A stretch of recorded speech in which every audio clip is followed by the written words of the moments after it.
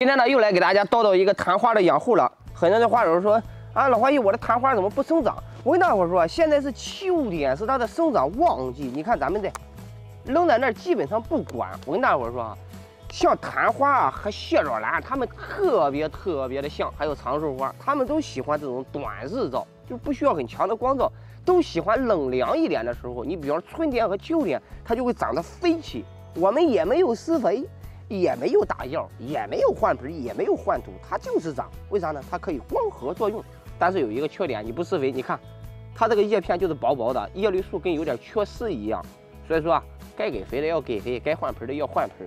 你不施肥啥的也能长，也能凑合事。你看咱们这个长得多长了都，而且这个东西啊，你就随便切，啊，跟切那个切那个水煮肉片一样，一片一片的，你一插都能活。但是你别插反了，问小辉怎么扦插，他就会告诉你，剪个叶。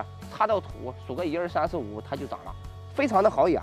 那再给大家往详细一点说哈，光照，光照的话呢，大家放到室内完全 OK 的，但是尽量的别直晒，别暴晒，就是中午那种很辣的太阳，人一晒就要出汗的那种，就别给它晒了。那种一晒的话，容易给它晒的什么呢？很瘪。这个里面它有大量的水分，如果说光照很强呢，会大量的挥发，到时候光露一根筋了。也有有的话说养的长寿花爆筋了，养的昙花爆筋了，都是因为这个事儿，光照太强。浇水这一块呢，你只要不让它积水烂根，用那盆土排水透气，稍微多浇一点，或者你用多肉土，这个完全 OK 的，好吧？多浇一点，这个没事。用土的话，可以用沙子，用煤渣，也可以用泥炭土，还是说跟大伙说，跟浇水结合起来。最低温度啊，这个东西你只要不低于个三度，它就冻不坏。它零下肯定就是冻坏了啊，所以说一定要盖它，一定要在零上，穿毛衣的那种温度啊。你要再冷了，它就嗝屁了。养护起来的时候呢，贼拉的简单。有的花友说不开花这了那的，现在是它的生长旺季，不是它的开花旺季，好吧？一定一定要 get 这个点。一般他们是在入秋的时候开，它麻溜开完之后呢，把花一卸掉之后，它春天麻溜儿再长，它秋天麻溜儿再长，等到明年春天它还能开一波。所以说一定要 get 这个点，别的也没啥吧，还比较简单哈。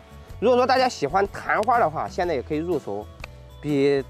刚开始上架的时候是长得大了一倍了，这是大叶，这是锯齿昙花。咱家还有几个品种？